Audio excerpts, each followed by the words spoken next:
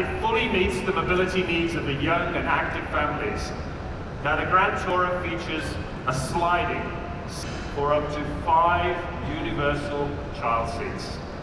Now European customers will have a choice of five turbocharged petrol and diesel engines which offer kilometers and it emits just 104 grams of CO2 per kilometer.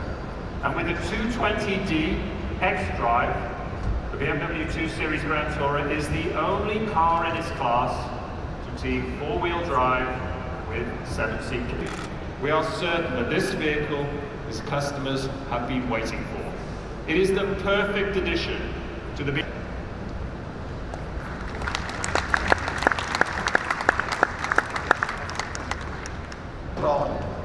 Ich bedanke mich auch für Ihr offenes Feedback und kritischen und konstruktiven